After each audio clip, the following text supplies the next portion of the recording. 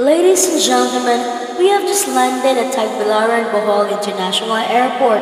Team Maglayag Airlines welcomes you to the Tagbilaran City. On behalf of our flight tech crew headed by Captain Compoc and the rest of the team, we thank you for choosing Team Maglayag, your airline of choice. Hello and good morning to you, my dear tourists. I'm Princess Ian Compoc, your tour guide for this moment. I know most of you are so excited because today is the perfect time for our tour.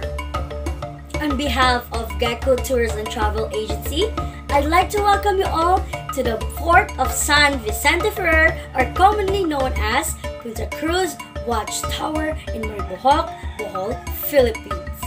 Did you know that Maribojoc was a fishing village when Jesuit priest Juan de Torres and Gabriel Sanchez landed in Baclayon in 1595, bringing the Catholicism also in Maribojoc? Father Francisco Colin, an early Jesuit historian, listed the town's name as Malabok and later changed it to Malabojoc. Port St. Ver was also known as Punta Cruz the word Punta Cruz was coined from the word cruz, meaning cross, which was planted on the watchtower to scare the marauders. It was a part of a wider defense net built along the Visayan coast to protect local settlers from approaching invaders such as Moro or Muslim.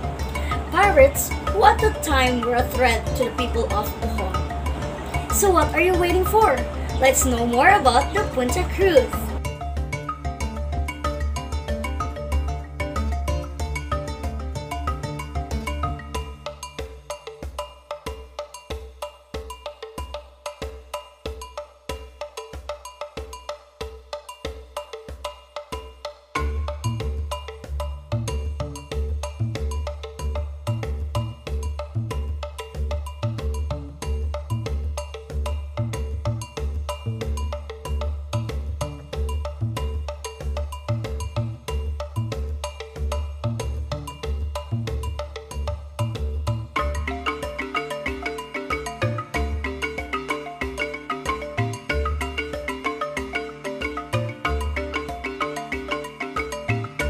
Is the day to turn back in time and delve into the rich history of our most prestigious heritage, Punta Cruz.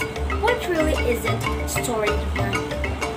The Maribojoc Parish, officially known as Parroquia de Santa Cruz, was founded in 1767. When Jesuits left Maribojoc, Maribojoc was one of the nine big villages founded by the Augustinian Recollect friars when they took after in 1768.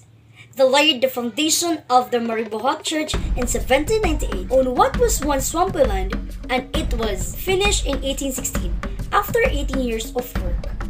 At the back of the church is a flight of stone stairs built in 1864. Earlier in 1796, the Punta Cruz Watchtower was built as a lookout against marauding pirates. The town of Maribojoc was officially incorporated on October 15, 1860, and grew into a thriving town with a population of 18,200 in 1870. Maribojoc was severely affected by the magnitude of 7.2 earthquake, which struck Bohol suffering 16 fatalities and damage to some 3,700 homes, as well as total destruction of Catholic Church. And then we can all see how Punta Cruz can be so amazing. So that's it guys.